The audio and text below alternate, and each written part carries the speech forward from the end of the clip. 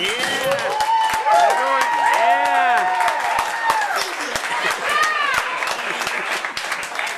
Thanks. We can take a quick break.